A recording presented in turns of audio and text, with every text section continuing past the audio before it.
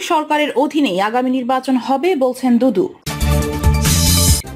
এদিকে বিএনপি বিকল্প পথে ক্ষমতায় আসার স্বপ্ন দেখছে, বলছেন কামরুল ইসলাম। জানাব দাম বাড়লো সয়াবিন তেলের।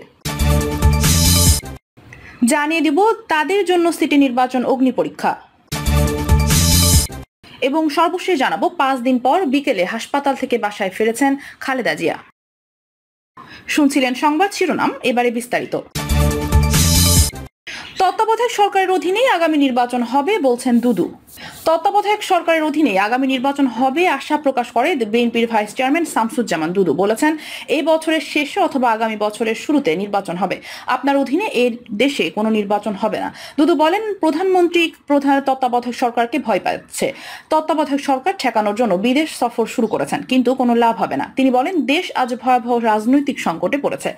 দেশের নির্বাচনী ব্যবস্থা পুরোপুরি ধ্বংস হয়ে গেছে। জাতীয় সংসদ থেকে ইউনিয়ন পর্যায় পর্যন্ত ব্যবস্থা ধ্বংস হয়েছে। সকল পেশাজীবী সংগঠনের স্বাভাবিকভাবে নির্বাচন হয় না। এমনকি মসজিদ কমিটি নির্বাচনের দলীয়করণ হয়।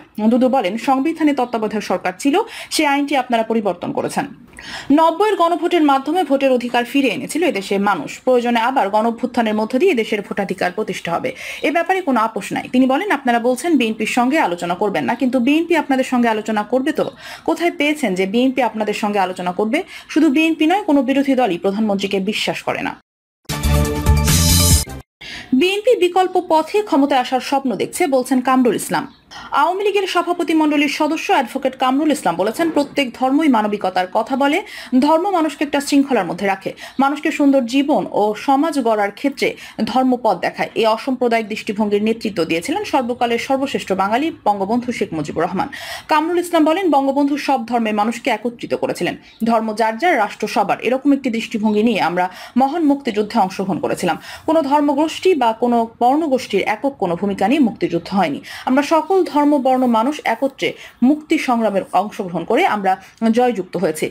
বিএনপিকে নির্বাচনের প্রস্তুতি গ্রহণের আহ্বান জানিয়ে কামরুল ইসলাম বলেন, সংবিধানের বাইরে কোনো সুযোগ নেই। বিএনপি অহেতুক ভিত্তিহীন আন্দোলন করছে। তাদের তত্ত্বাবধায়ক সরকারের দাবি মেনে নেওয়ার প্রশ্ন ওঠে না। নির্বাচনে অংশ না নিলে তাদের অস্তিত্ব বিলীন হয়ে যাবে।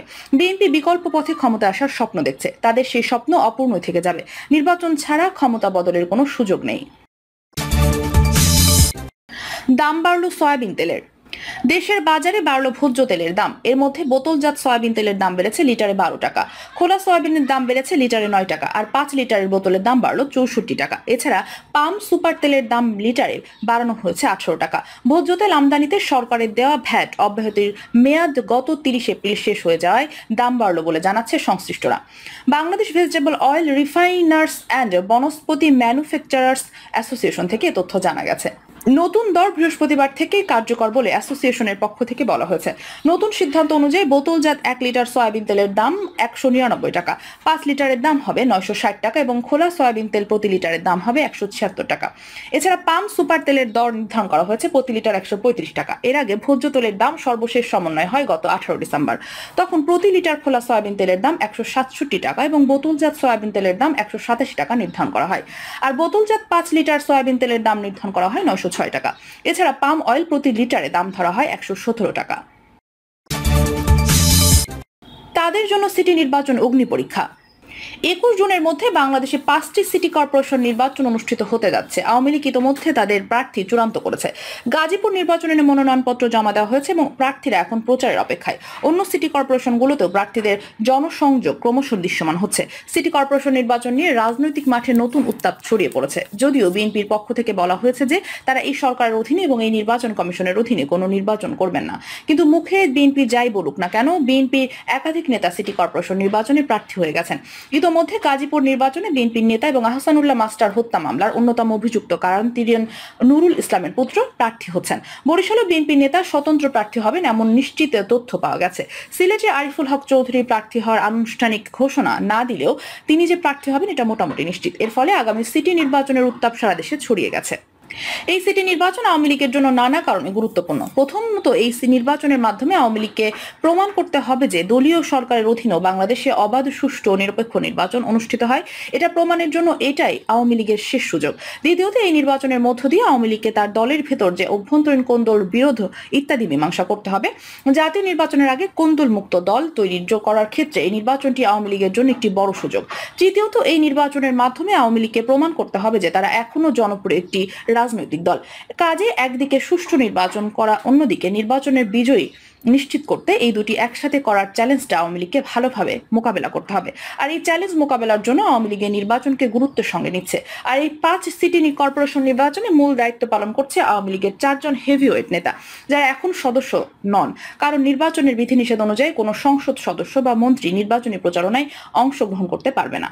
আর এই নির্বাচন কমিশন এই বিষয়টি অত্যন্ত কঠোরভাবে নেবে। কাজেই আওয়ামী লীগের চারজন নেতার উপরই এই নির্বাচনগুলোর আওয়ামী লীগের ভাগ্য নির্ধারণের দায়িত্ব পড়বে। তবে এই চার নেতা কেবল পাঁচ সিটি কর্পোরেশন নির্বাচনের ভাগ্য নির্ধারক না। এই নির্বাচনগুলোর ইতিবাচক এবং ফলাফল তাদের রাজনৈতিক ভাগ্য নির্ধারণে গুরুত্বপূর্ণ ভূমিকা পালন করবে বলে রাজনৈতিক বিশ্লেষকরা মনে করছেন। যে চার নেতার দিকে তাকিয়ে আছেন পাঁচ সিটি কর্পোরেশনের আওয়ামী লীগের নেতাকর্মীরা এবং যে চার নেতার অগ্নি পরীক্ষা নির্বাচন, তাদের মধ্যে রয়েছেন জাহাঙ্গীর কবির নানক। ও জাহাঙ্গীর কবির নানক সবগুলো নির্বাচনেই পর্যবেক্ষণ রাখছেন।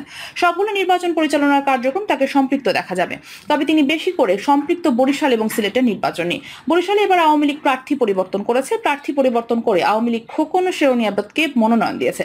এর ফলে বরিশালে হাসানাত যুগের অবসান ঘটেছে বলে অনেকে মনে করেন এবং নানক যুগের সূচনা হয়েছে বলে কারও কারও ধারণা। জাহাঙ্গীর কবির নানক বরিশালে আবুল হাসানাত আবদুল্লাহ এবং তার পুত্রের বিকল্প নেতা হিসাবে সারা জাগাতে পারেন কিনা এই নির্বাচন তার পরীক্ষা। কেউ কেউ মনে করছেন এটি আসলে খোকন শেরনিয়াবতের নির্বাচন নয়, বরং জাহাঙ্গীর কবির নানকের নির্বাচন। সিলেটে যিনি আওয়ামী লীগের প্রার্থী, তিনি জাহাঙ্গীর কবির নানকের রাজনৈতিক শিষ্য। এক এগারোর সময় আনোয়ারুজ্জামান চৌধুরী লন্ডনে আওয়ামী লীগের পক্ষে সোচ্চার ছিলেন। তিনি মঈন ও আহমেদ কালো পতাকা দেখিয়েছিলেন এবং এসব কর্মকাণ্ড করেছিলেন জাহাঙ্গীর কবির নানকের নেতৃত্বে।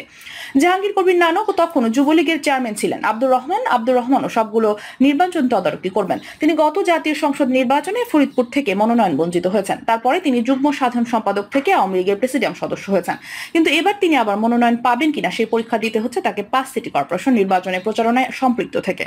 এই প্রচারণা যদি তিনি সফল হন এবং তার নেতৃত্বের যোগ্যতা যদি প্রমাণ করতে পারেন, তাহলে আগামী জাতীয় সংসদ নির্বাচনে তিনি মনোনয়ন পেতেও পারেন। বাহাউদ্দিন নাসিম। বাহাউদ্দিন নাসিম আওয়ামী লীগের যুগ্ম সাধারণ সম্পাদক এবং জনপ্রিয় নেতা। এবার সবগুলো সিটি কর্পোরেশন নির্বাচনে তিনি নজর রাখবেন এবং আওয়ামী লীগের অভ্যন্তরীণ কোন্দল মেটানোর ক্ষেত্রে তার ভূমিকা হবে অত্যন্ত গুরুত্বপূর্ণ।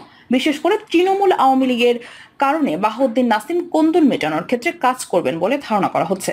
S M Kamal Hossain, S M Kamal Hossain সাংগঠনিক সম্পাদক। তিনি নির্বাচন পরিচালনার ক্ষেত্রে অত্যন্ত পরিপক্ক এমন ধারণা আওয়ামী লীগের নেতাকর্মীদের মধ্যে তিনি গাজীপুরে ব্যাপক প্রচারণার কাজ শুরু করেছেন। দলের সাংগঠনিক সম্পাদক হিসাবে অত্যন্ত জনপ্রিয় এস এম কামালকে আগামী একুশ জুনের মধ্যে প্রমাণ করতে হবে যে নির্বাচন পরিচালনার জন্য তার দক্ষতা এখন অনেক বেশি, আর এটি প্রমাণের জন্য তিনি হয়তো আগামী নির্বাচনে নিজের মনোনয়নও নিশ্চিত করতে পারবেন।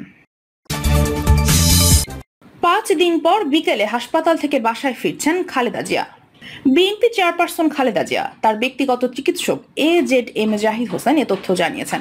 গত উনত্রিশে এপ্রিল শনিবার খালেদা জিয়ার স্বাস্থ্য পরীক্ষার জন্য ঢাকার এভার কেয়ার হাসপাতালে ভর্তি করানো হয়েছিল।